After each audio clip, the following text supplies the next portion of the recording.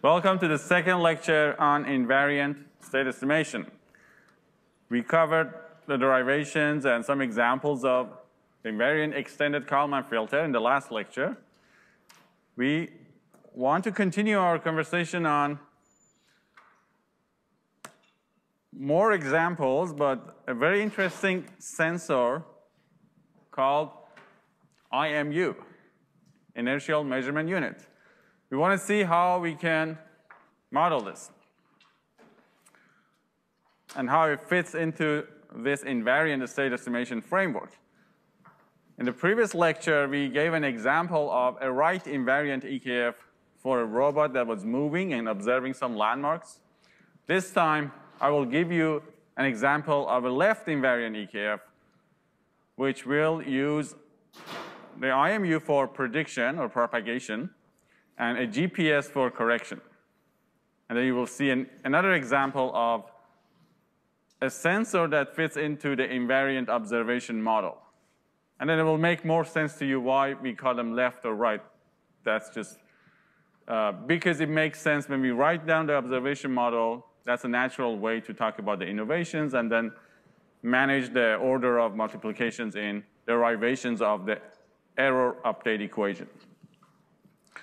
So I'll be, I will be writing down, but we get back to the slide in the end.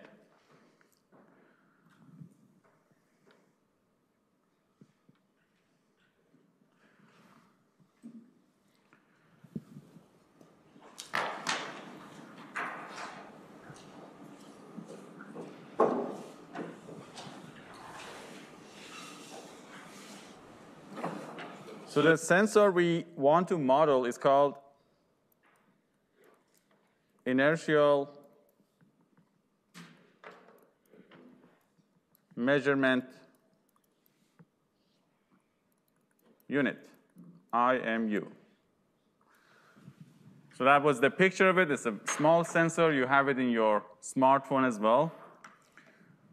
There are many variations of it, but at the very basic form of it, it comes with a gyroscope. A gyroscope measures the rate of rotation in the sensor frame, in the frame that is attached to the sensor, and a linear accelerometer. The linear accelerometer measures the linear acceleration, the movement of, again, the sensor, the frame that is attached to the sensor. Now, how, how we build these sensors, that's just a topic of mechatronics, sensor design, that's very important.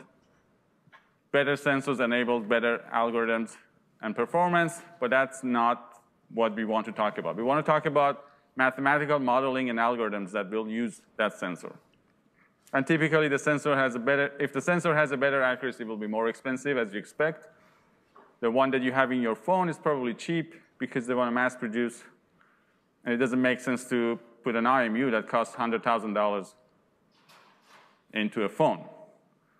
But maybe for a spaceship, it makes sense because we don't want to lose the ship, right? So we have a gyroscope and accelerometer. It can come with a magnetometer that measures the local magnetic field of whatever place you are. If you do have a magnetic map of the planet, then you can use it as a reference and have a fixed reference system that's called north, east, down sometimes.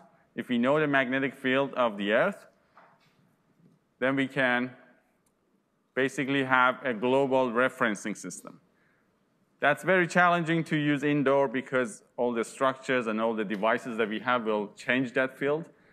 But typically, if you're outdoor, it is good. And that can be used to provide a reference Otherwise, your heading is always unobservable. Sometimes the sensor also comes with a barometer that measures the pressure. Right? We won't talk about magnetometer and barometers. We talk about the gyroscope and the accelerometer. So the state variables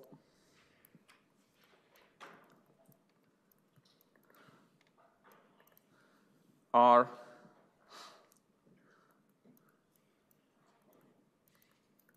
rotation,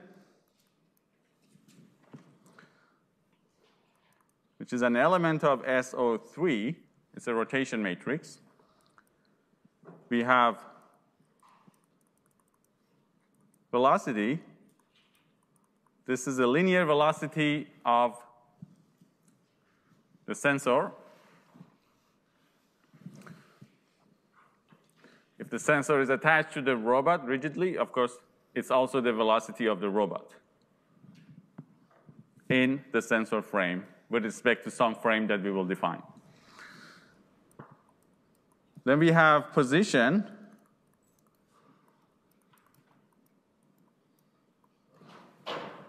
which is also a three vector.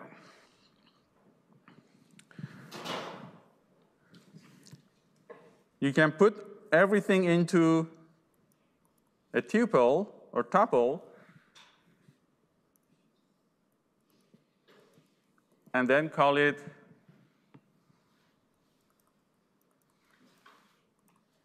state tuple.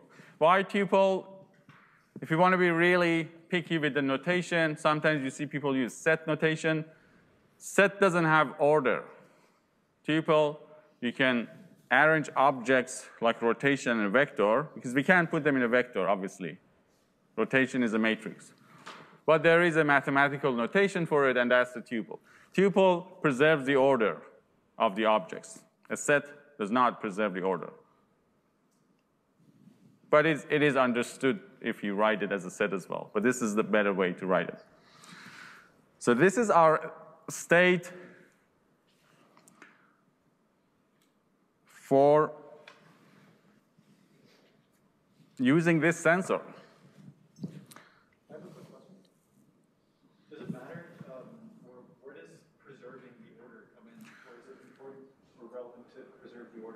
So the question is, does it matter if we put P first or V first? It doesn't matter, but once you choose an order in the columns of matrices that we will write down, you can't change it halfway through. The Kalman filter will just break down if you arbitrarily change order.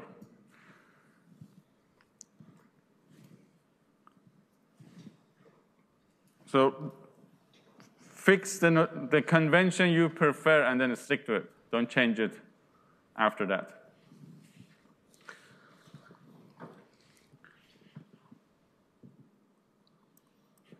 What are the inputs or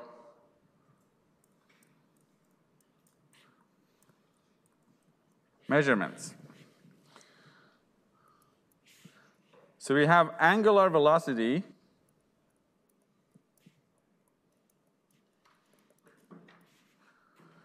This is,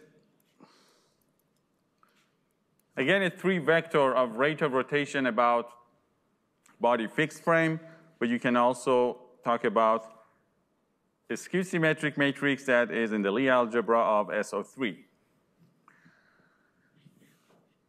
And then we have linear acceleration. Which is the linear acceleration in the body fixed frame measured by the sensor. These are signals that we directly read from the sensor. Physics will give us this as the sensor operates.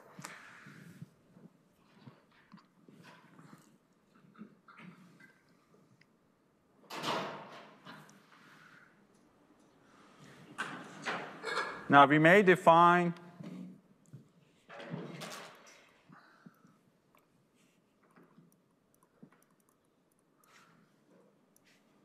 a vector of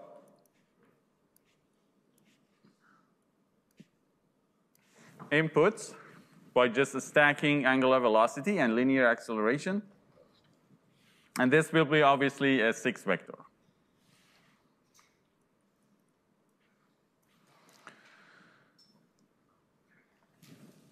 So U is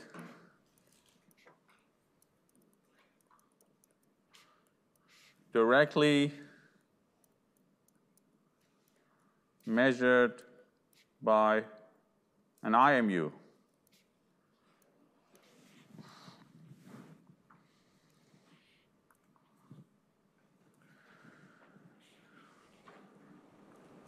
And maybe it's important to point out that it's measured by an IMU in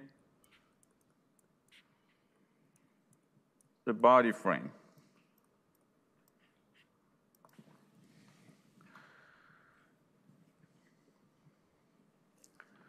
Now, why we need to include the velocity?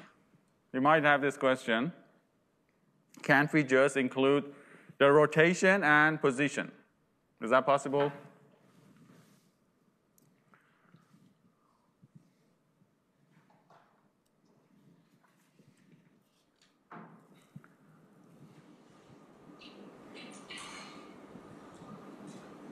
Um, Not if you want to have a first order IDE or uh, ODE.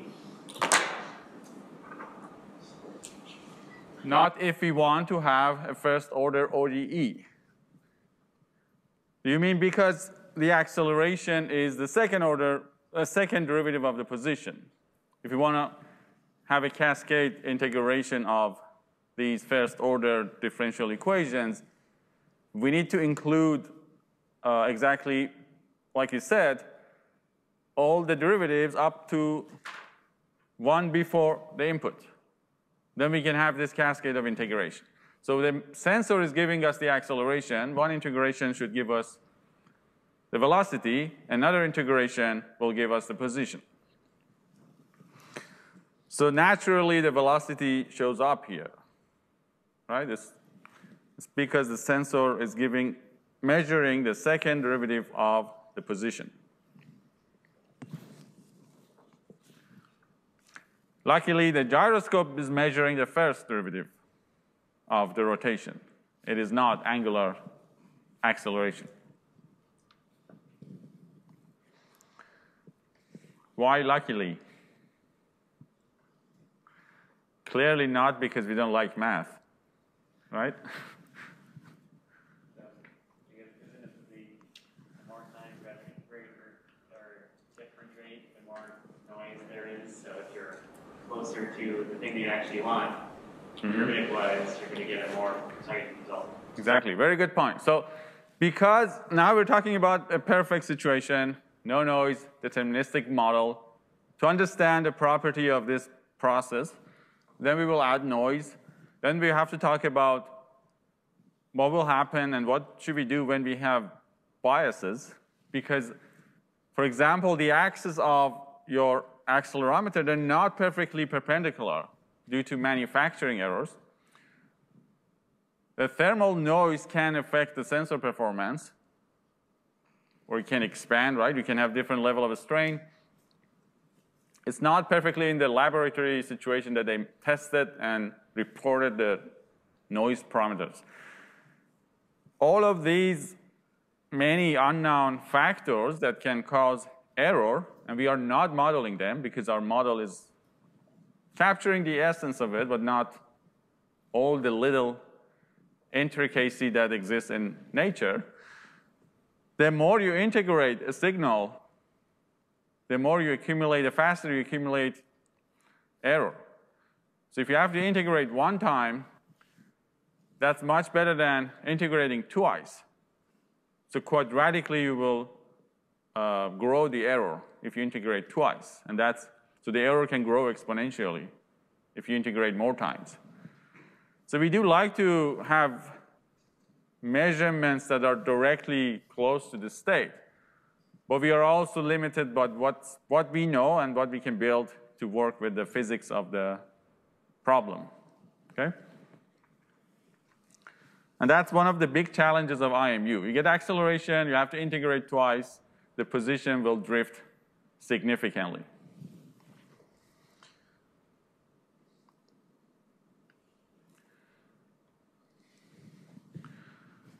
So that brings us to the question that what is the best way to model this sensor? Spoiler alert, there's a Lie group that will model that.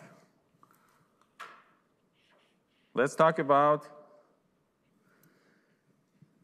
a somewhat exotic matrix Lie group.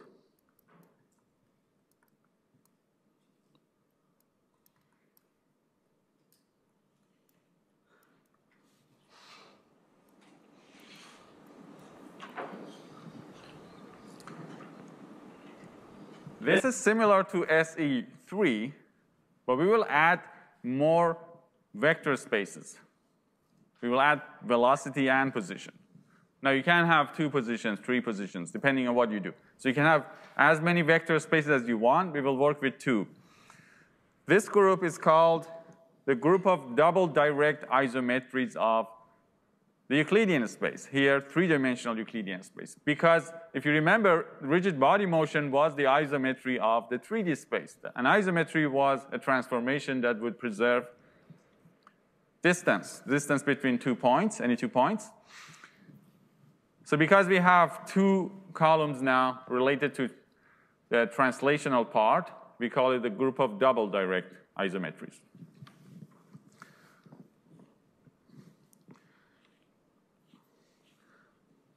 So this is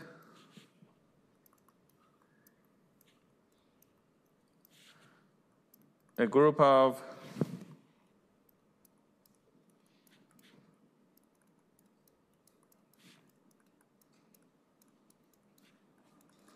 double direct isometries of R3.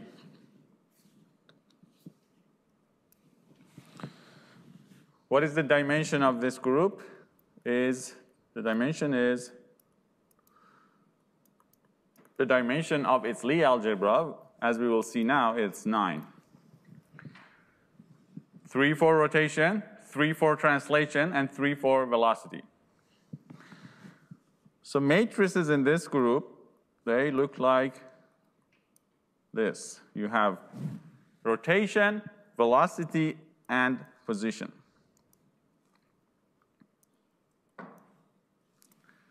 We have rows of 1 by 3 zeros.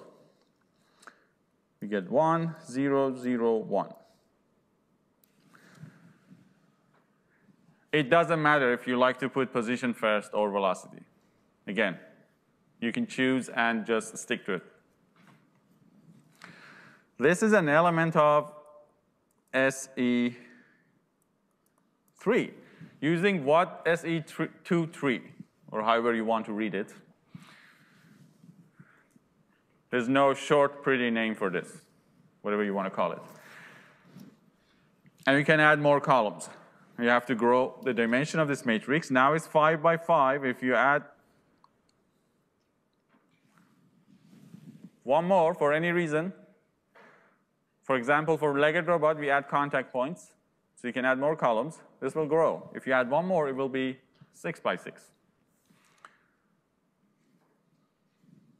What's the, the two 2 because this 2 is related to 1, 2. SE3 has only one translational column, a vector space. This one has two. It's hard to come up with a better notation. I think that's probably the most compact notation.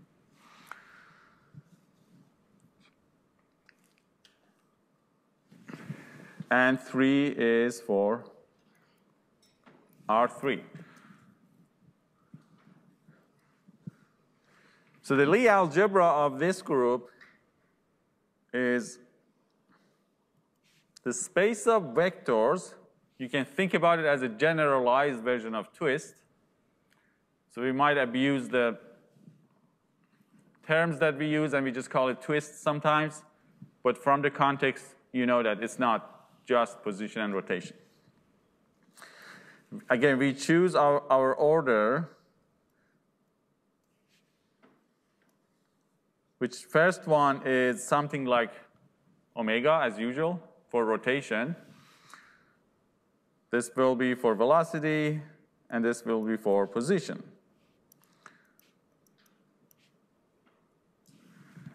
This is a 9 vector. So we have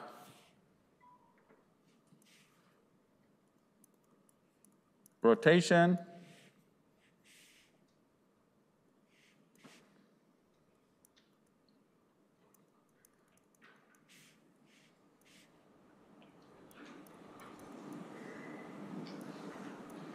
Now, depending what you're doing and you're talking about the continuous time or discrete time, you need to be obviously careful about the meaning of it. This vector can be angular velocity, but if you're working with a discrete model and it's angular velocity time times delta t, then it's a delta angle. Similarly, for velocity, it can have an acceleration meaning, but if it's a discrete model, it's acceleration times delta t, it's like a delta velocity, okay? But in the continuous time version, it is the derivative of the quantity you see in the state matrix. Now, one nice reason to work with this group is that you can check it will satisfy all the properties of matrix Lie groups. Everything we talked about, we established will be true. You can just use whatever we did, that differential equation that is first order propagation.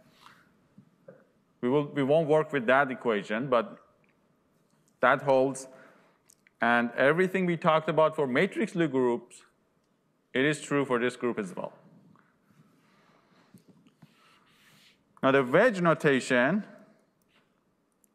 we need to define another overloaded notation, but that should not be a source of confusion because this is a nine vector.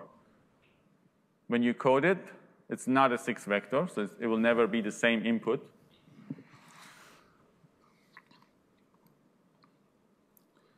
We have the symmetric part for the rotation. Then we have the velocity part and then we have the position part. And then we get all zeros. You could call this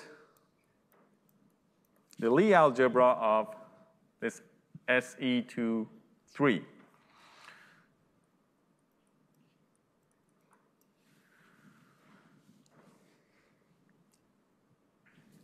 So you can visually verify. It's very similar to SE3. Whatever you expect to see, you can see here. It's just growing based on the extra vector space. And similar to all other Lie groups, we have the fact that for every element of this group, there is an element in the Lie algebra that when, that when you take the exponential, matrix exponential of that, it corresponds to a group element. What about the adjoint map? Now we derive the adjoint map for SO3 and SE3. You can follow the exact same process. A little more calculation, you can derive the adjoint matrix for this group. If you do that, it will look like this. Now the adjoint depends on the order of angular velocity, position, velocity, right? So based on the order that I chose, the matrix will look like this. The diagonal is all rotation. You get velocity skew times r.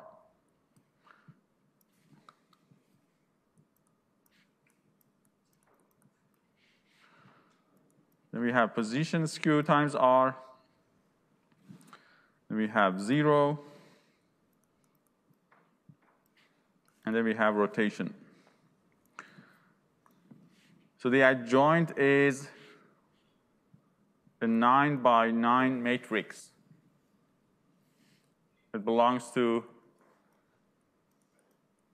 9 by 9 matrices.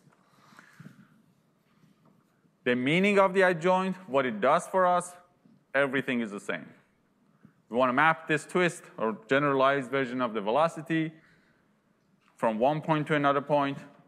Maybe we want to map the covariance everything we did, we can just use the adjoint map. In fact, if you want to propagate that covariance for that odometry, if the motion is in this group, you use the exact same equation. You will not change anything. You don't need to derive it. So all the derivations are general already and valid. So you, you can, now you start seeing that why this is convenient, because you do not need to redo derivations and calculations for new problems. And eventually this could be just a library that you can't even, you don't even need to look into it. It will do it for you, right?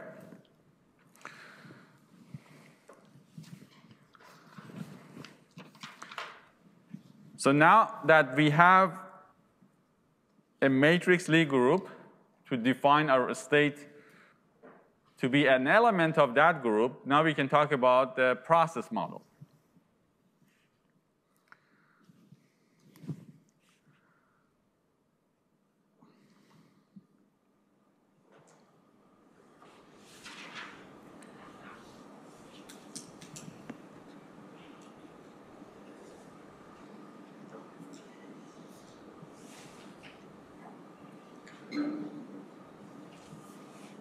Now I want to talk about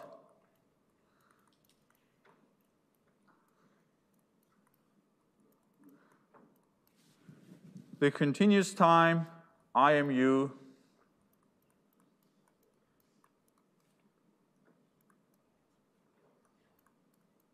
process model. I'm going to first write it without matrices, then we will arrange it into a matrix. We know already for a gyroscope that the derivative of the rotation matrix, you could call it R dot, is rotation times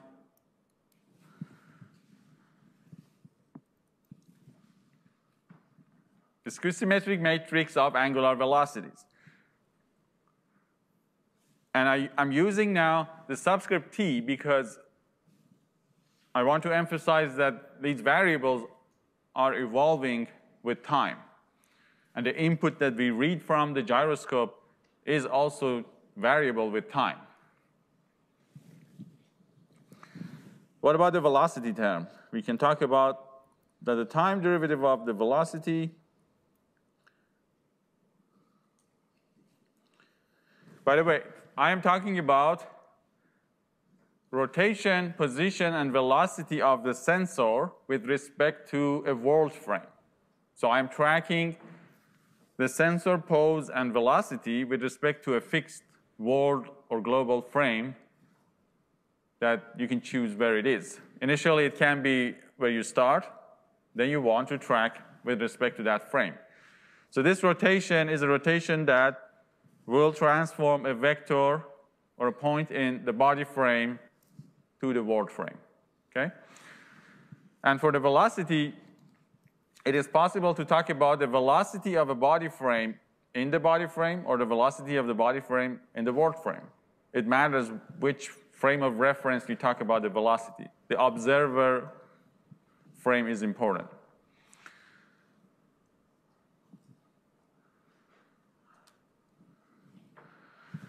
So the time derivative of the velocity in the world, velocity of the body frame with respect to the world frame is, you can call it v dot.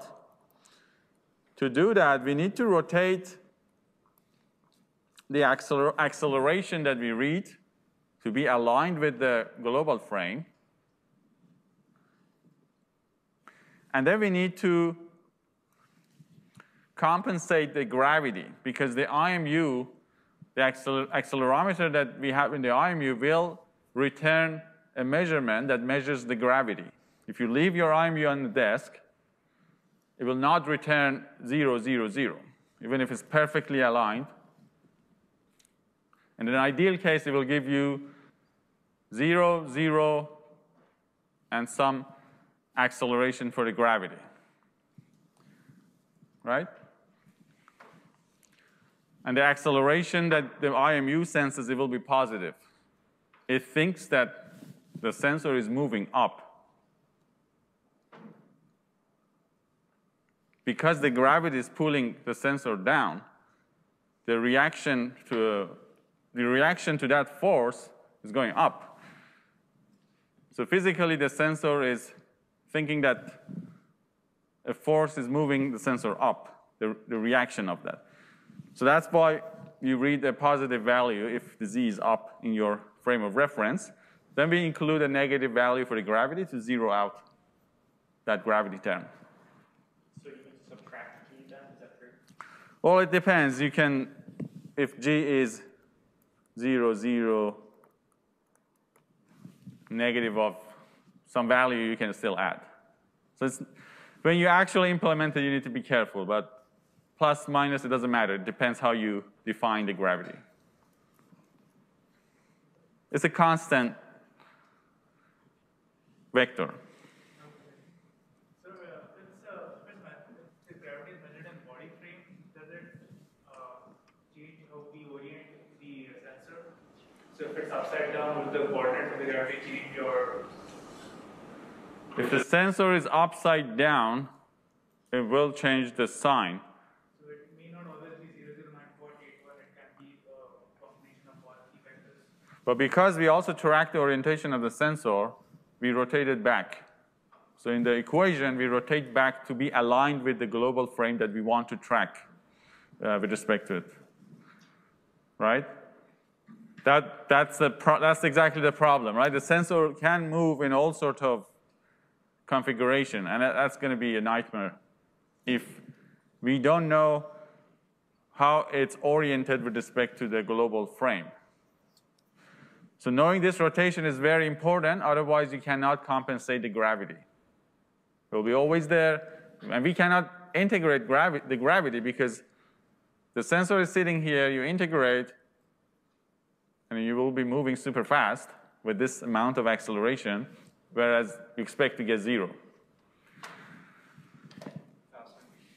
Can I just double check that V dot, V dot T is related to the body frame? We, I'll, I'll write it down. I'll write it down in a bit. T vector.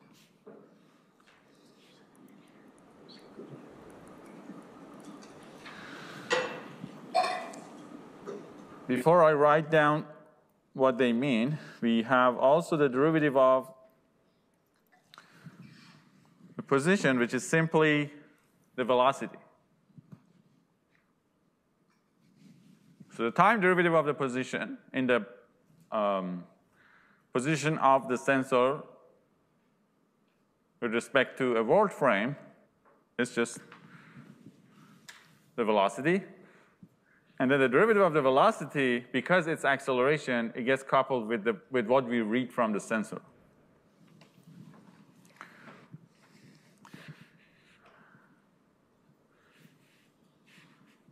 So R, V, and P.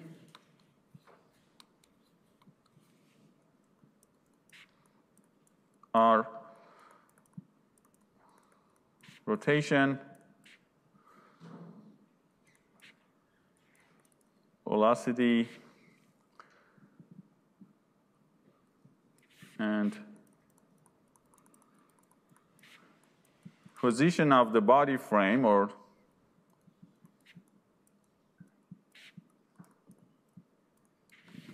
IMU frame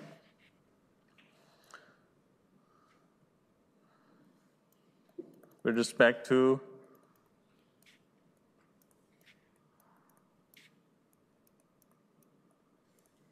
the world frame. So that means I may fix a world frame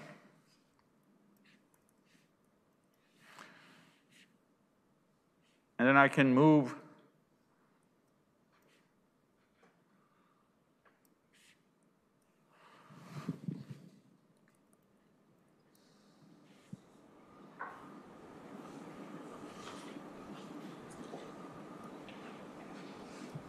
in any way that I want. I want to integrate this model to know the orientation, the velocity, and position of the sensor in the world frame. That's my observing frame. You can, of course, talk about uh, the body velocity of the IMU in, in the body frame. That's possible. You can talk about the rotation of the world frame as seen in the body frame. So that depends on the problem and what we want to do. But a typical standard convention in robotics is track your sensor or robot with respect to some fixed frame. And again, I understand in aerospace they usually track um, the rotation of the world in the body frame. So this inverse of that. But that's not a problem. You can just define the state to be transpose of the rotation and then work with, drive a filter that works with that. That's not a problem, okay?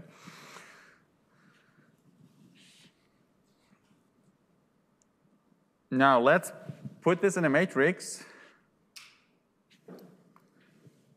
We have three equations that describes the time evolution of our state variables. These are first order differential equations.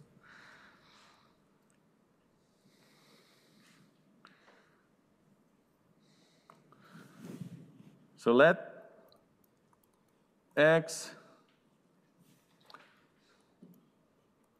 at time t rt, vt, and pt in a matrix.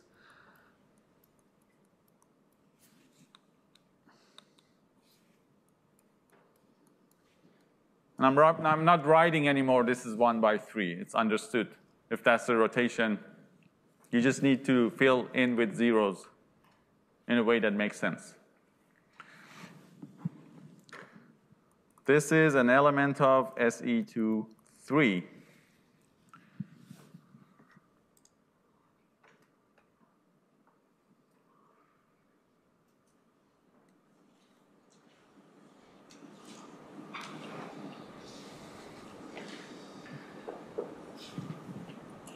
Then the time derivative of x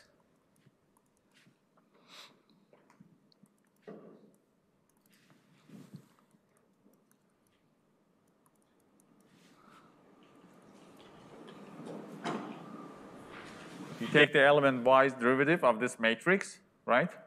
For rotation, you have r dot. For v, you have v dot. For p, you have p dot. Now we know the equation from the above, substituted into the matrix. And we get this relationship. And the time derivative of constant values, those ones, is obviously zero. So I'm, I'm just substituting the equations from above into the matrix. Now, we can define this matrix to be our deterministic process model. This is a process model on Lie group. It is not like what we had before. This, is, this one is the simplest way you can get. It's the kinematic model that naturally comes with any Lie group. In a sense, it's a constant velocity model native to each Lie group. For, uh, this does not describe the IMU because the rotation part it does. The velocity part it doesn't because the IMU part of the acceleration need, needs to be compensated with the gravity. So there was a question on chat that why this twist is a 9 vector. I'm not sure if you got your answer, but I repeat that. The twist now, it's a 9 vector because the group has 9 dimension. We want to track position, velocity, and rotation. In 3D space, rotation has three dimensions. Velocity, we have three axes. We have three dimension for the velocity, and we have three dimension for the position. If you stack them into a vector, in the Lie algebra, that will give you a 9 vector. That's why this is 9 by 1. So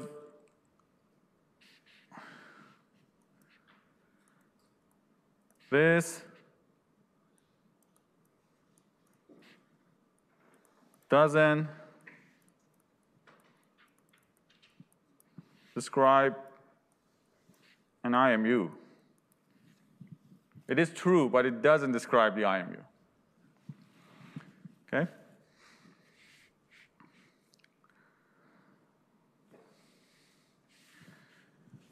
Now, what is interesting is that, and that's your exercise, to plug in into the group affine property, what you will observe is that this process model satisfies the group affine property. And the group affine property was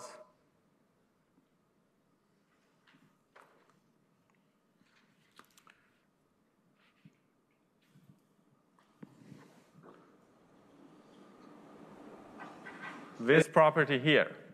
All you need to do, you need to calculate direct calculation, perform the direct calculation of both sides and show that they are the same. Then you know it is group affine, and then you have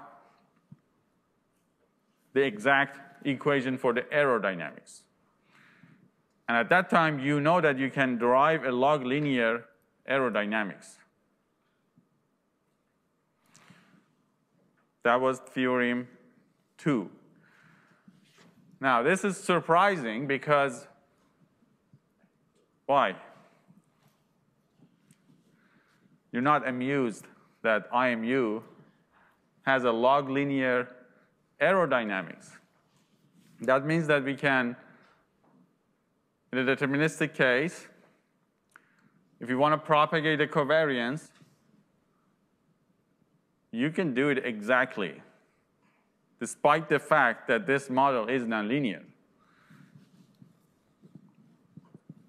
Right? This is not a,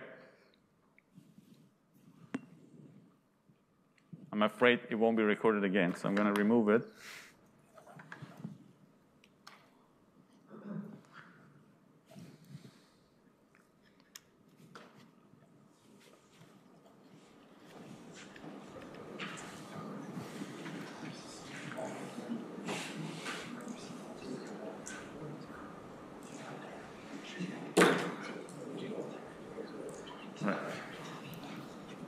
You know what happened? I touched something that was working properly and then it stopped working. That's the first rule of engineering. Do not touch something that is working. It will stop working and you cannot fix it. so that's the lesson from today. And besides that, the IMU is also log linear. Now, I hate to tell you that in the literature, they will tell you this is nonlinear, you can't do it, you have to linearize. It's messy. Probably in other courses you will take, they'll tell you this is nonlinear. And now you know that's just not true. Now, I do not recommend getting physical, but know that what you hear is not the full story.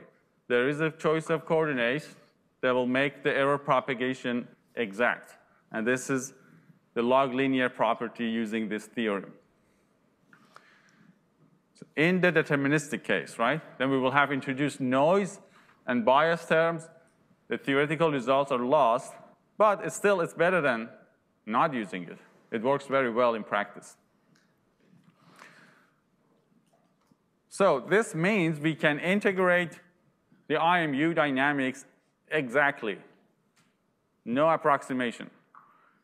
And if you have a covariance, second order error, uncertainty, we can propagate that exactly as well.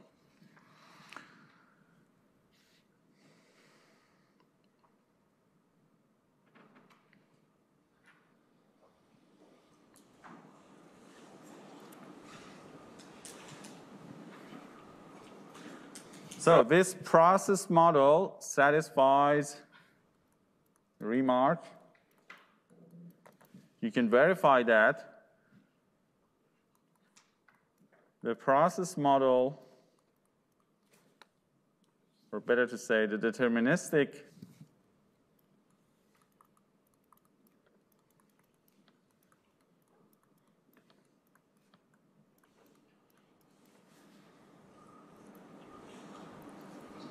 and F subscript U just to emphasize there is some, there's an input somewhere.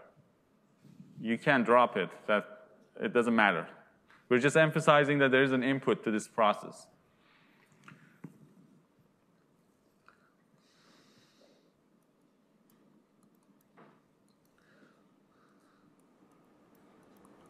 satisfies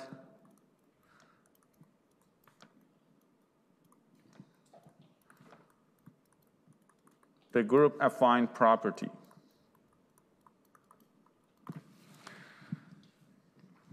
So if that's the case, with everything we learned, the first thing you want to do is to derive the log linear error dynamics. And that will be the A matrix. Because if you remember, for implementing the invariant extended Kalman filter, we need a process model that satisfies the group affine property. Then we derive the log linear error dynamics matrix A. And then we need a measurement model that fits into one of the left or right invariant models. From that model, we derive the measurement Jacobian, H matrix. Then we know everything to implement it. And if you have a library that is already taking them as the input, as input, then you're done at that point. You can just run your filter. So four elements. And given the model, your job is only to derive two matrices. Then you know everything. And possibly tuning noise, of course. On the last page, you wrote uh, a short differential equation. You said this does not represent an IMU. Yeah. Can you explain or repeat a little bit what that, like what you mean?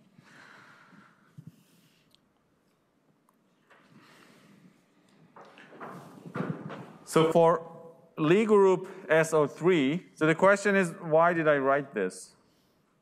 I could just not say it. Sometimes we say more and then we're in trouble. So now I'm trying to answer the question because I wrote too much. So for Lie groups SO3, you, you would just write, where should I write?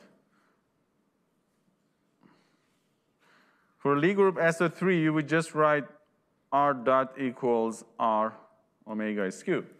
Now, R is entirely the group element, and omega is the element of the Lie algebra, and this differential equation comes with the Lie group directly. For SE3, this is SO3, this is SE3, we could also write this in this form, and we used it for the constant velocity motion model in the robot localization example. Now, you might think that it's always going to be like that. Therefore, for this group, we also write this, and then we call it a day. But no, that's not the case. This is just the simplest process model that comes with the Lie group. It is the constant velocity model. Because if we assume this twist is constant over a delta t, and we're just integrating that. However, IMU is giving us second derivative of the position. Then there's that gravity, so the model ends up being different. We cannot work with this model directly. So it's a little bit more complicated. Now, the processes on Lie group can be as complicated as you want. It can be so nonlinear that it doesn't satisfy group affine property, and we don't get anything nice from them. But fortunately for this sensor, it does satisfy.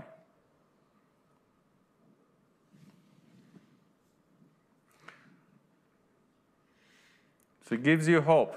There are a lot of things in nature that are nice. We just need to look at them from the right lens, in a sense.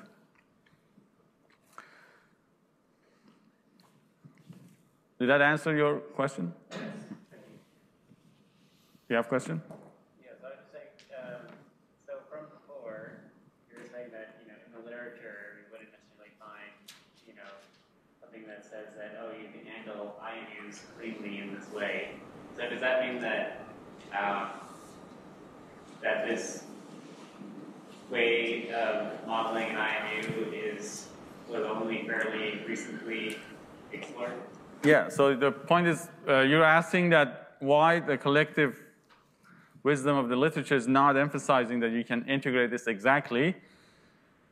By that, I mean the majority of them, especially if they're older than 2017, 16, 15.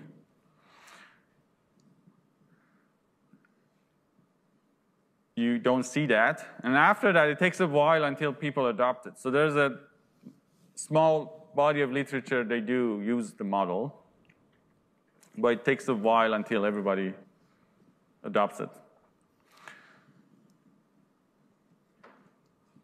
It is because exactly it's new.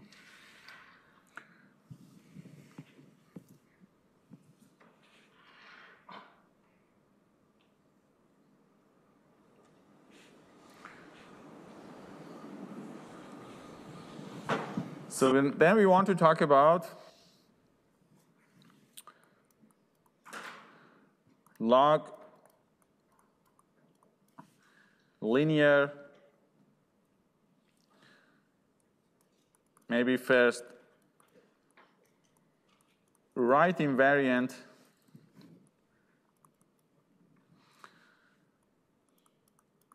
error dynamics.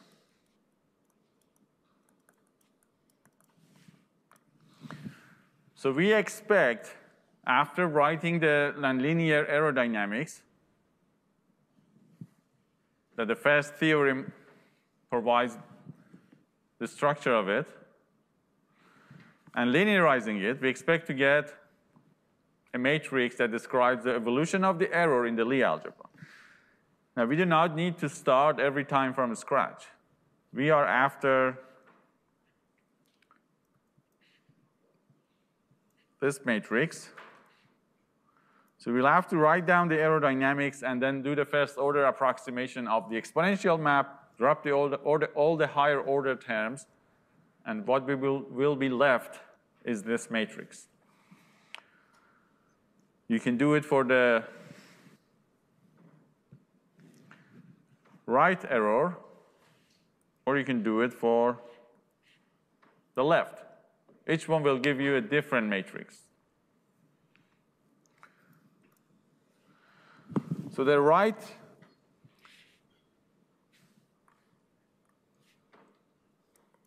matrix will be like this. I skip the calculation. This is something, it is available in references that I will point out in the end. You can look into that but it's good for you to carry out the calculation. It is just direct calculation. What you will get is surprisingly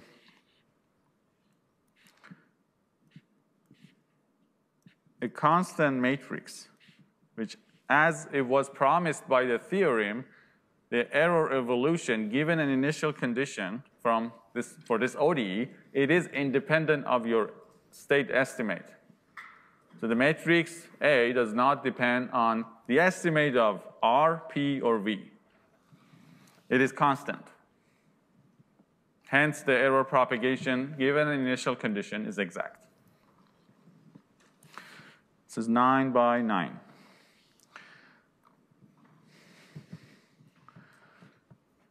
And you can derive the left invariant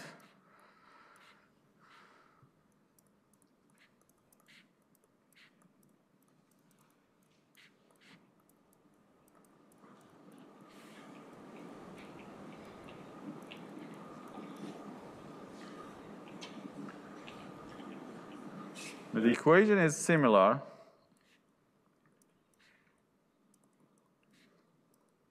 But you will get a different A matrix because we start from a left invariant definition of the error in the group. That will lead to another matrix that we use superscript R and L to emphasize this is for left and right invariant cases. A will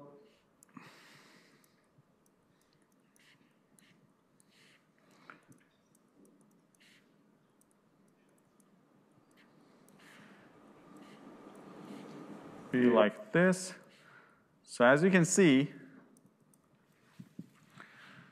It is still independent of the state estimates. However, it does depend on the input readings of IMU. But that's not a problem. These are readings of the IMU that you read directly from the sensor. These are not the state variables that we need to estimate.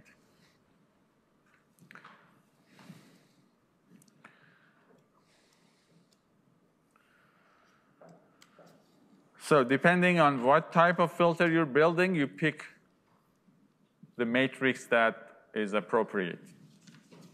We will be working with the left invariant EKF this time, so we have to pick the second matrix that I wrote. Now let's add the noise term to readings of the IMU because the perfect model that we discussed obviously does not exist in real world. So now we're going to talk about the noisy process.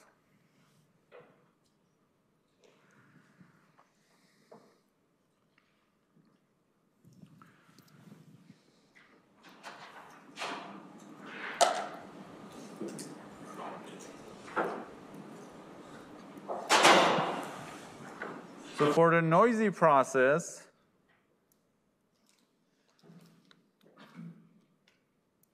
we have the gyroscope readings. So what we read from the gyroscope is some noisy version of the true angular velocity plus some noise. So it is our choice to model the imperfection of the sensor readings with an additive white Gaussian noise.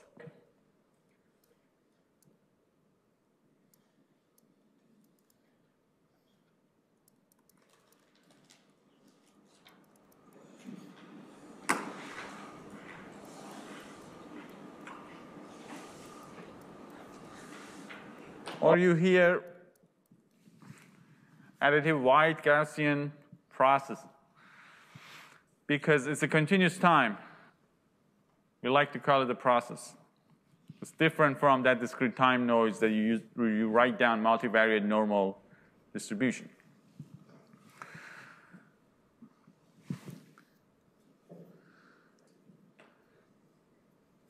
For the accelerometer, we have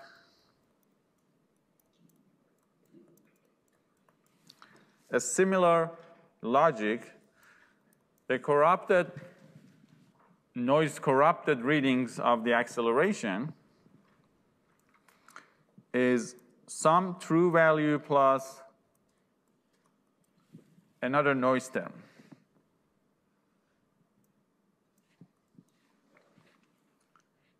So this is exactly what we talked about. It's an additive white Gaussian noise. It's at zero mean, it has no autocorrelation, its continuous time version has a constant power spectrum. So the signal power is constant. That's the meaning of it. In the discrete time version, the covariance that we get is completely determined by the signal at that time. There's nothing new. That's, that's exactly how we built our Kalman filter. Okay? Now we're going to write down the noisy version of the equations of the IMU, which will give you a new insight as well, why we define the noise in that particular way. In the process model, it pops out, pops out out of the equation naturally. So R dot is rotation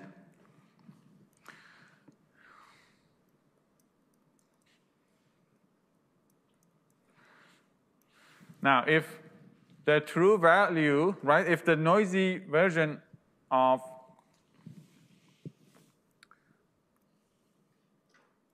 the signal is the true value plus noise, then the true value that we want to replace in the deterministic case will be the noisy version minus noise.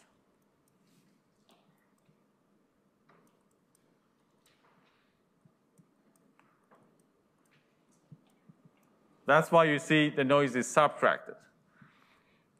But because it's zero mean, it will not have any particular effect if you add it or subtract it.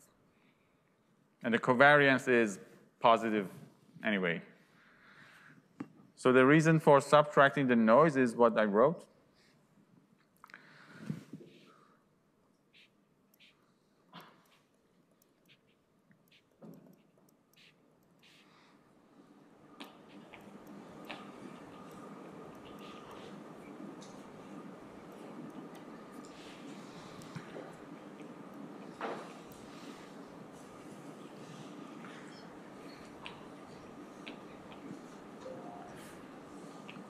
Now you can distribute the rotation to the angular velocity and the noise. That's, that's like a factored version of it right now. If you have a cross product, right?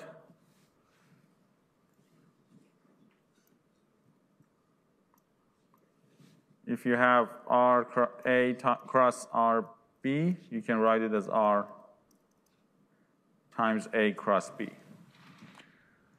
So it is still simple. It doesn't cause any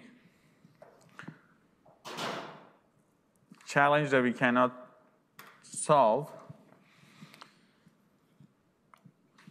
For the position,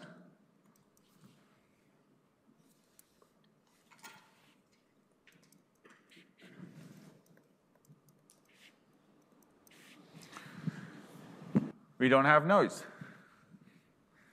We add noise at the source. We do not add noise arbitrarily to the natural relationship that we understand between state variables. The noise is initiated from the source. The source is where, where we read the signals.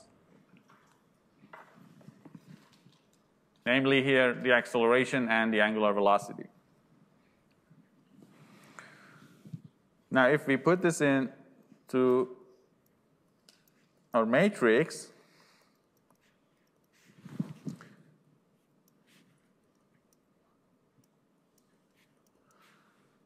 we get the noisy or stochastic version of the previous process model that we derived.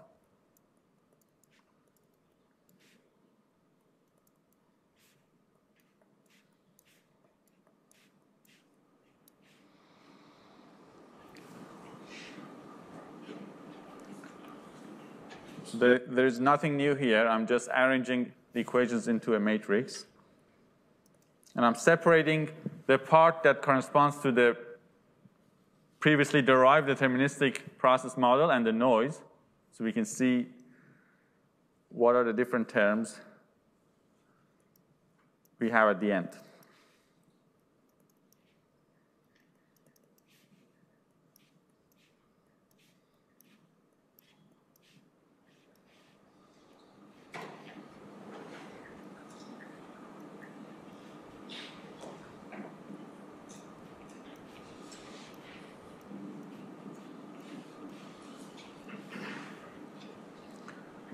And then you can define this to be your previous process model minus a state times a noise term. So that's why in the previous lecture we defined the noise to be the process model plus the state times some noise. Again, plus minus is not very important here because the noise has a zero mean. When we evaluate the state itself during prediction, there is no noise. We just use the process model.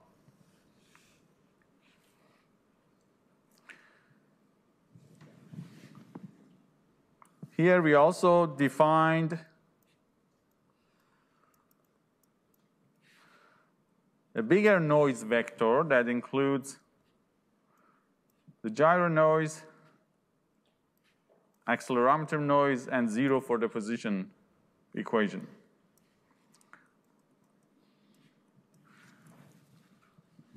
So this is also a nine vector, just like our generalized twist.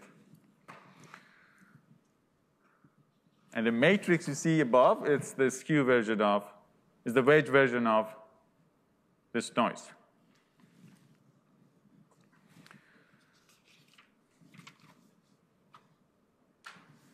So we have the noisy process model for the IMU as well. We are ready to form the propagation step of the filter. So given an IMU, now you know how to model it. You can integrate and propagate the state.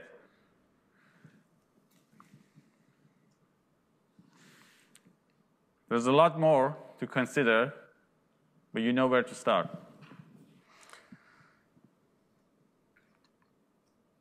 But if you have bias terms, which you definitely have bias in your accelerometer, acceleration readings and gyroscope, uh, gyroscope's angular velocity readings. Those bias terms are very important to correctly estimate and compensate. And they can slowly vary over time.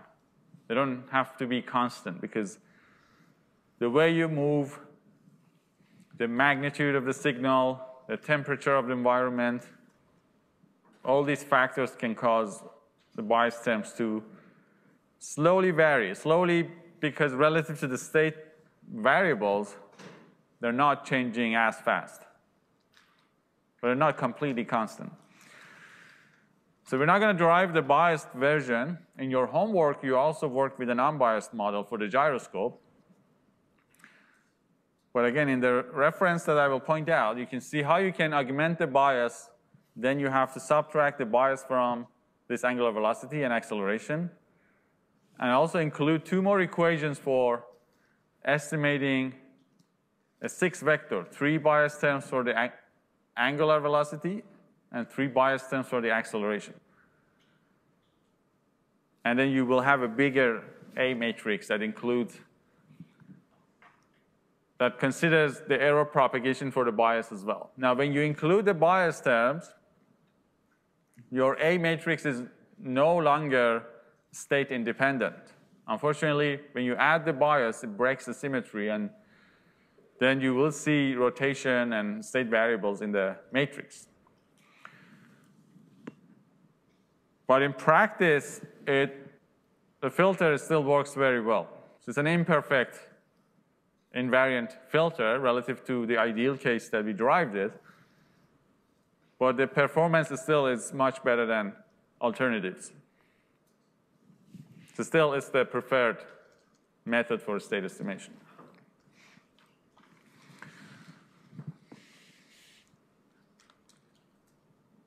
Question about that last part. Can you scroll back up to the page you're just showing? I'm confused about how this expression can be x dot because it seems like the bottom row is just zero, but it should be v sub t. Your question is how this matrix can be x dot? Yeah. Because x, x is RVP. 0, 0, 1, 0, 0, 1. So the x dot will be r dot v dot p dot 0, 0. Take the element-wise time derivative. Now r dot is what we have in the above in the equation here. Just substitute them into the x dot, right?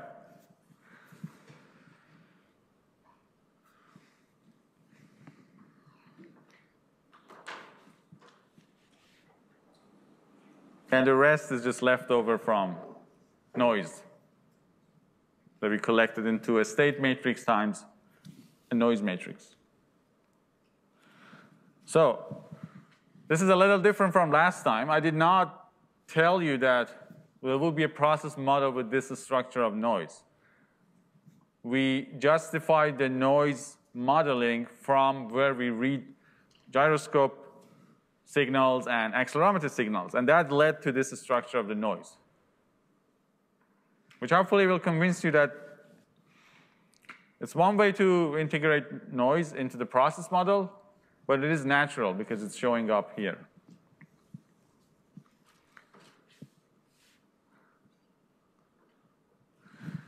So now we want to talk about the left invariant EKF propagation because we want to build a left invariant filter for IMU GPS sensor fusion.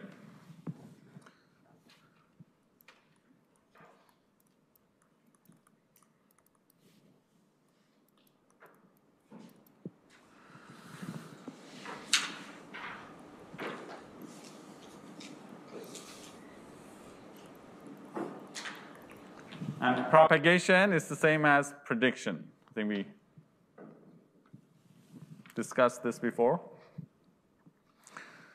So if you remember the left invariant EKF,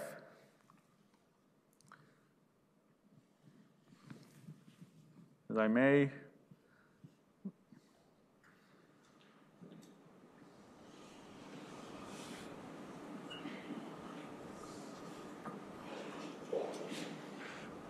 use the summary in the slide. There's a propagation step, and then there is an update step. If you know A and H, given that we know the process model and the observation model, we, we know everything to implement this filter.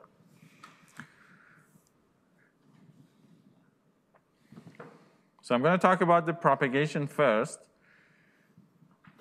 And then the one, pro one problem we have to solve is that this is continuous time. We need to discretize it.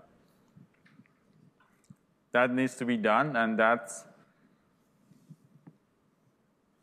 a little involved process, but we can do it exactly.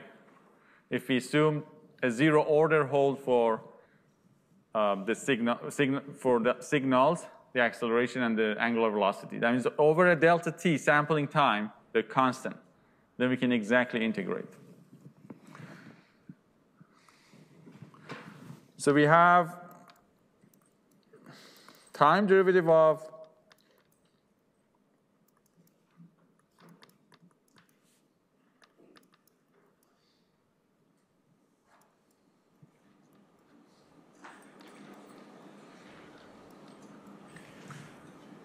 the state evolves based on, this, based on this process. So to propagate the state, you just get your state estimate matrix, send it through this process model, and then you have your state at the, at the next step, not using this because we have to discretize.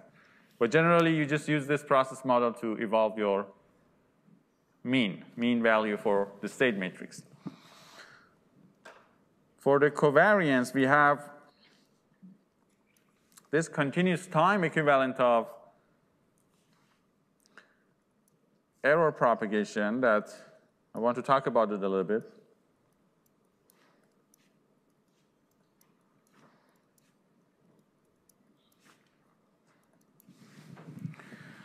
Now, where this comes from, it's not necessarily our concern, but I want to give you a quick and convincing proof, maybe, that you feel more comfortable when you see this line. So this is continuous time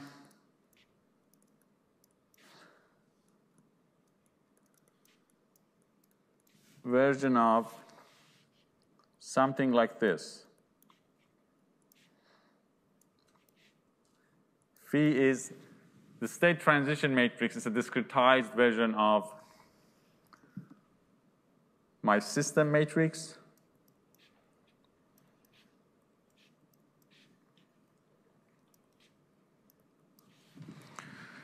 Now to see why this is a continuous time version of that. A simple logic is to follow these steps. Consider we have a linear, continuous time linear model with additive noise. When you discretize this model, you get something like this time difference equation that will have some transition matrix plus some discrete time noise. And the covariance that we are used to implement in our code evolves using this form from time step k to time step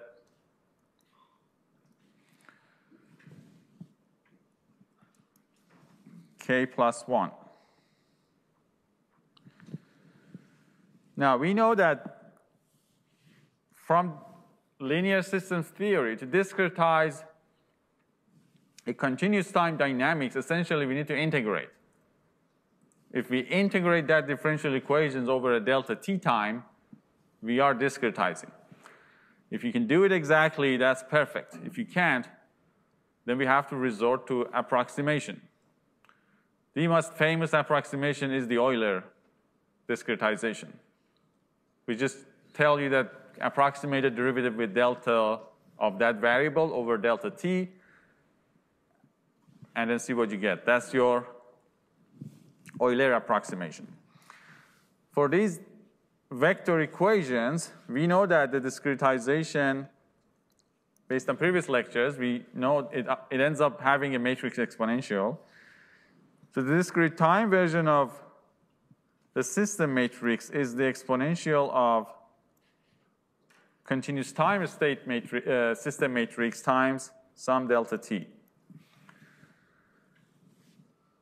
Imagine we do a first order approximation of this. It will be identity plus a t times delta t.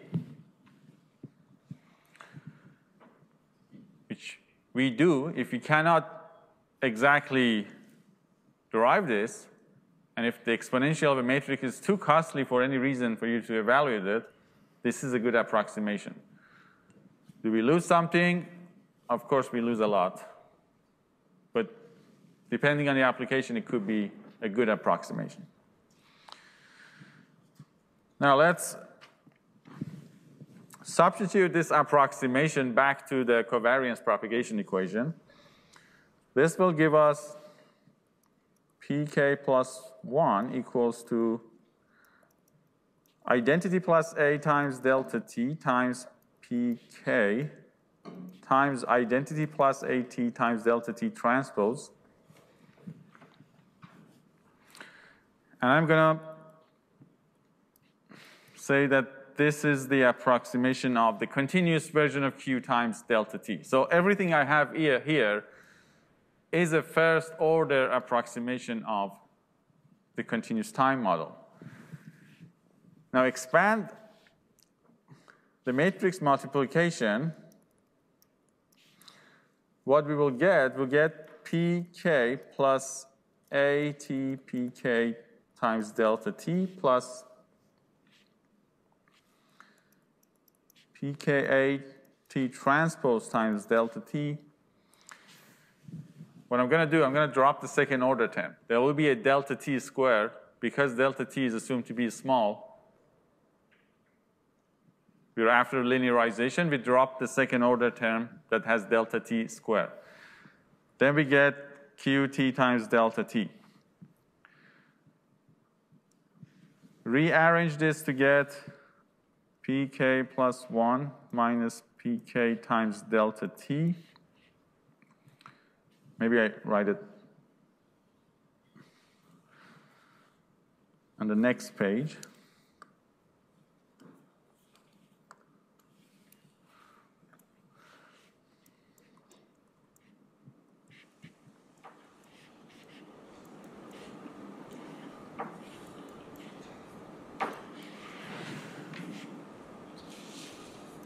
Can already recognize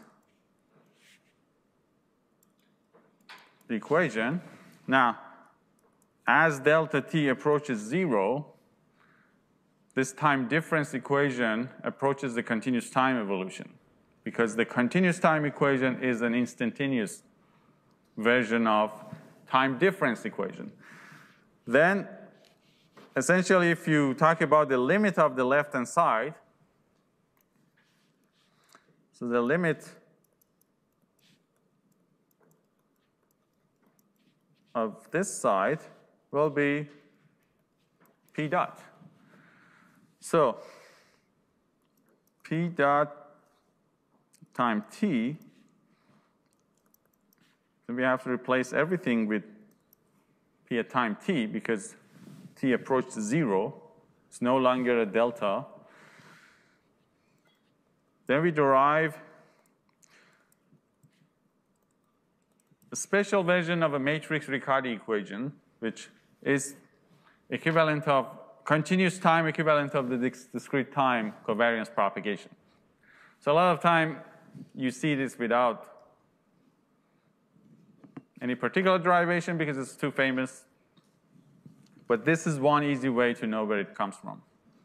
The Riccati equation has more terms, but if you zero out some of them, this is part of it.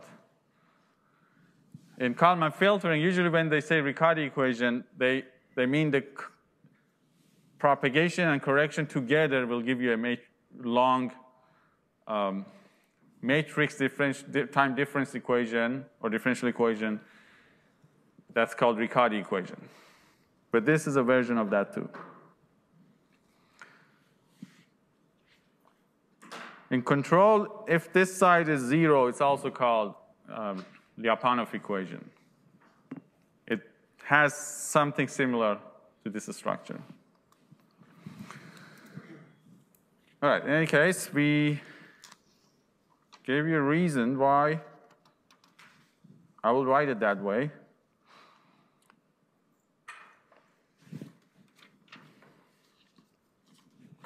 Now I'm going to switch back to the slides.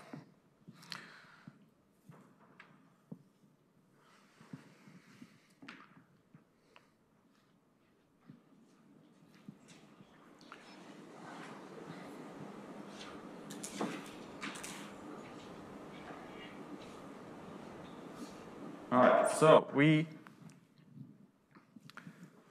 talked about the inertial measurement unit. We know how to model the noise, and we know how to talk about its continuous time process model.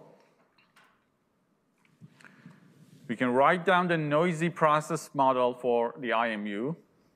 And we know this model in the, in the deterministic case satisfies the group affine property. But we're not going to go through the integration because you need to just look at it, see how it's done. In the reference that I will share, what you will get, assuming a zero order hold for the IMU signals, you get the exact integration. So the first term, some new notation, the gamma zero is just the exponential map. Because when you, we write it as power series, then we integrate it. We want to give them new names. We start from gamma 0, and then we call it gamma 1, gamma 2 as we integrate it. It just naturally shows up when we try to integrate the equations. So there is a gamma 1 here when we integrate the velocity for the part that is related to rotating the acceleration. For the position, we, we integrate the acceleration twice, there's a gamma 2, which is, again, the integration of the exponential map twice. What you used to see, probably not having these terms, however, this shows that the exact integration has some extra term for updating the rotation before you rotate the acceleration vector because the sensor is not just accelerating, it's also rotating. So that rotation, instantaneous angular velocity, will cause the rotation to change. So that change is reflect, reflected here in this term. So you can set it to the identity if you like, because often delta t for IMU is very small. So this term will, will be very close to zero. Maybe delta t is small and you're not moving super fast. Then it's okay. It's almost identity. But it is interesting to see that the actual model is more complicated. It has coupling of angular velocity and acceleration. So in any case, this is somewhat familiar constant acceleration model, right? Because if you get rid of the rotation and gravity, you know this from physics.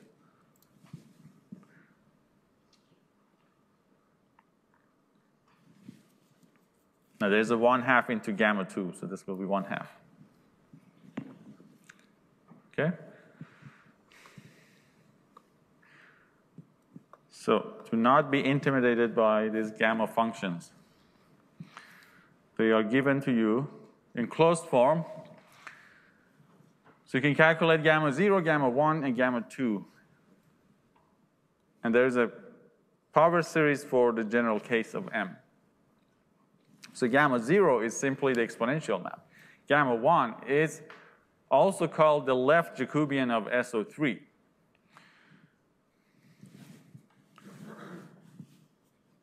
We don't have to use it now. Later in optimization, we will talk, we talk about log map and Jacobians. But it's Jacobian in the sense we derive that Euler rate matrix. You choose a coordinate, and then there's a matrix that relates the rate of change of angles between two frames based on a particular parameterization. So the name is related to something like that. So we have the discretizations. If you're interested in derivations, I'll share the reference with you. If not, just use it. We are talking about a world-centric state estimator. We track the state with respect to a world frame. If you work with the right invariant, this is the matrix. Based on the last lecture, we know the noise will have this particular form. In the left invariant, this is the matrix. If we talk about robot-centric state estimator, we have to invert the state. This will flip the correspondences of right and left invariant matrices with the state variable. You can do calculations and you can show that. So now we're ready to talk about an IMU GPS left invariant EKF. So a robot is equipped with an IMU and a global positioning system, which will give you some latitude and longitude in, in the world based on the satellites. It's usually very noisy. You have up to 10 meters error, maybe. Because we have an IMU, it is very natural to talk about the state as an element of SE23 group. For the prediction step, our choice is to use, discretize the IMU model to predict. For the correction step, we want to use the GPS. And then we will see what is the observation model for the GPS. So we're going to model a world-centric left invariant Kalman filter, we know the state matrix. The state transition matrix is the exponential map of A times some sampling time. It turns out that you can calculate this exactly. So the exact discretization of the state transition matrix is also available. And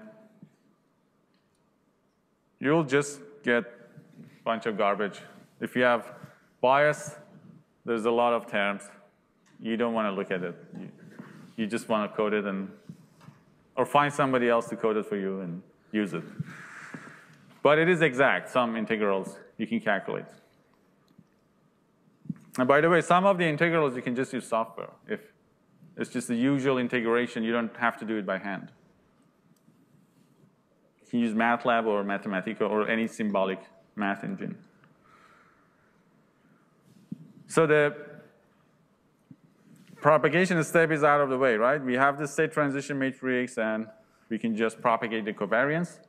And we have the discretized process model. We can just evaluate the process model to transition the state at time step k to k plus 1. Now, we know that the GPS, after some calculation, we can convert the latitude and longitude to some position. So what we read from the GPS is really the position. When we arrange it into a matrix, because our state is like this, it makes sense to have a vector b to zero out rotation and velocity, and we have zero for the other terms, such that this is what we get. So it's really just the measurement is directly observing the position.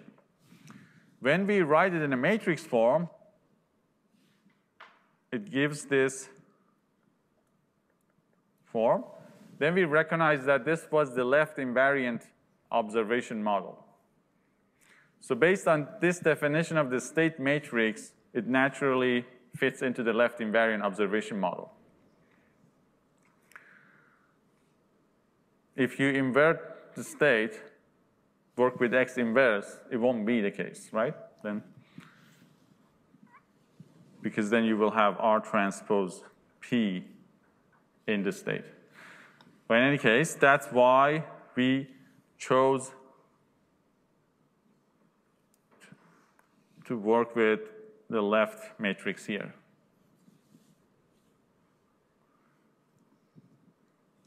So the, uh, basically the point of this is to show that uh, when using a uh, left that that you will get more precise or more accurate measurements using um, the IMU plus the GPS system than just the GPS measurements alone, basically. Question is, is the goal here to show that using left a left invariant Kalman filter, we get more accurate measurement? Absolutely not. The filter will not make your measurements more accurate. Well, no, this statement is not correct, right?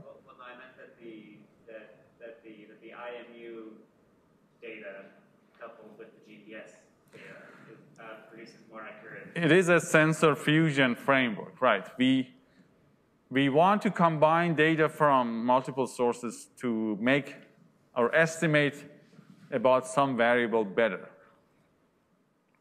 The minimum we need is usually two, or an assumption and two, like a constant velocity assumption and a sensor. Better to have two sensors. IMU is naturally a good sensor for prediction because we can estimate position, velocity, orientation. GPS is noisy. If we can track with IMU and correct with GPS, in an ideal setup, this will work perfectly. But I'll talk about the problems in practice. In your homework, you are using acceleration for correction, gyroscope for propagation. So that should tell you that this is not the only way to look at it. Depending on the problem, we can make different decisions of how to propagate, how to correct. But it's just some sensors are very suitable for propagation, like gyroscope. Acceleration can be used for both, as, as we see. So the GPS is naturally a left invariant observation model. All we need to do if you go back to my recipe for the left invariant filter, we need to solve this equation so that we find h. And the way we do it, you just directly calculate. The wedge version of our generalized twist will be this matrix we have here. We know the B matrix. Multiply them, you'll get this vector here. Make this a matrix times twist. It ends up being the matrix you see. Get rid of zeros if you wish to work with a reduced version. You can always have a projection matrix to a model to get rid of all the zeros that are redundant. So the Jacobian is constant. It doesn't matter where you are. The corrections are independent of your state estimate, which is nice.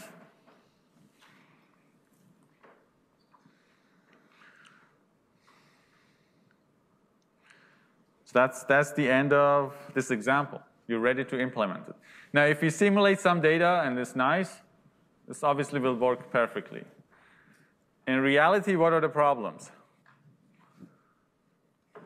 Let's list challenges that you sit down, you want to actually build this filter, and then you will face the list of challenges.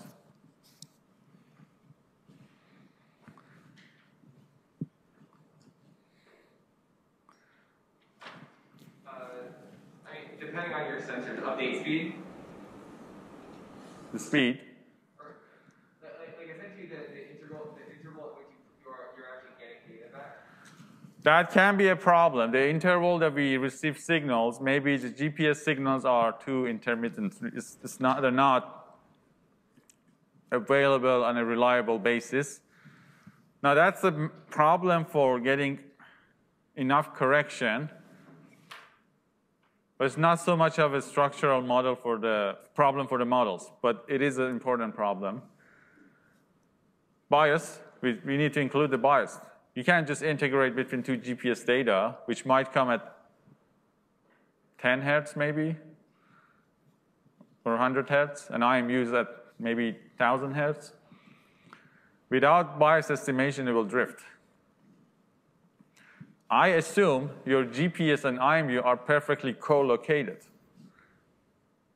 So there might be, there might be a need for some data processing that your GPS positions are in the frame of your GPS sensor, wherever it's installed on your vehicle.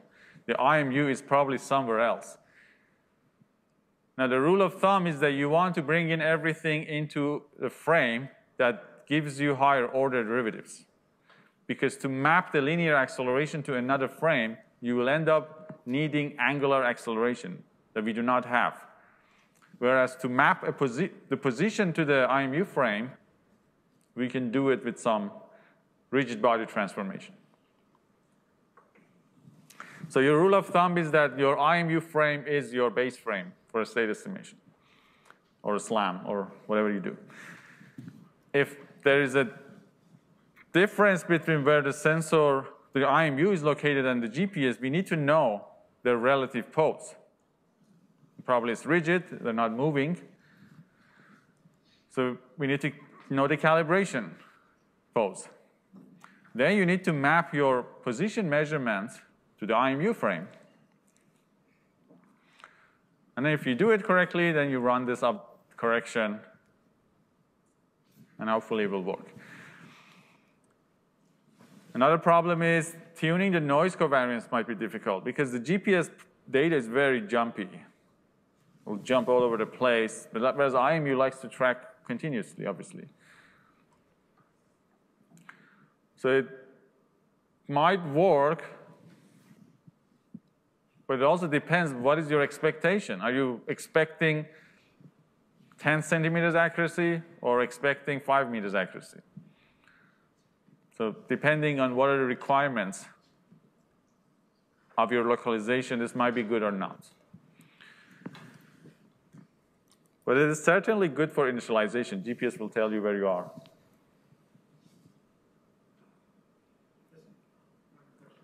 So many questions. Okay. you, you asked more questions.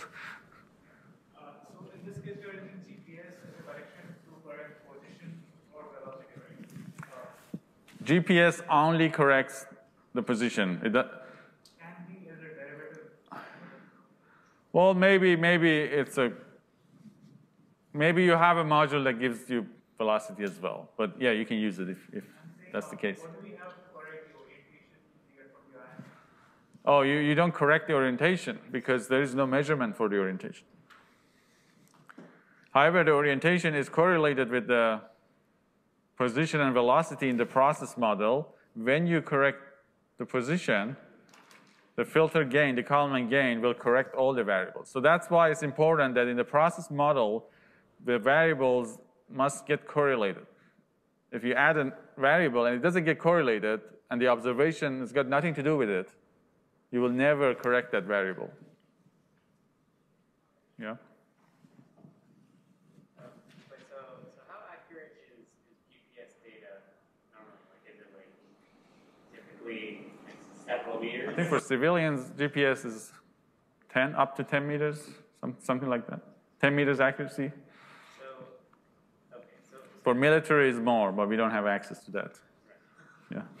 It's like a me- meter maybe. so that mean that there's a, like, a small enough scale where at some point, um, introduction of such noisy GPS data is actually hurting your system? Right, right. So you're not, I mean, you're not gonna use it indoors, obviously. but uh, maybe on highway, um, you are also, I don't know, if you go to Hong Kong or New York, Manhattan, you just, you go wrong to the wrong direction if you use GPS. It's always wrong, right? Because you have this multipathing and shadowing and whatnot from the signals that your phone receives. It's not reliable. So there is a place probably this is useful. It's not completely useless. For I think for airplanes probably it's good. It works well probably for aerial applications. For cars it's not enough. For ground vehicles this is not enough. But just an example. Now, one question to answer before we finish is that if you have left and right filters, can you convert halfway through the calculations? Yes, you can. Using the adjoint, you can map the left invariant error to the right invariant. Therefore, you can have a relationship between your left invariant and right invariant covariance. So you can always map them. Now, if you don't have bias and nonlinearity that makes the filter depends on the state, this is exact. We do have bias because you do depend on the state estimate, it's imperfect, but it's possible to map. For example, you want to do right invariant correction, then you want to do left invariant correction. You can do that.